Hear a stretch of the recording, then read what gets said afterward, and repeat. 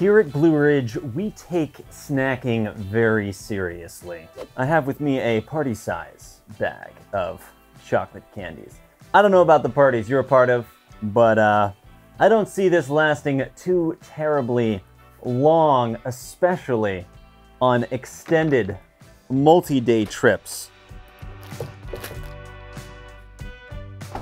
Now, we didn't just upgrade the capacity of your M&M game. No, no, we've added carry handles and, wait for it,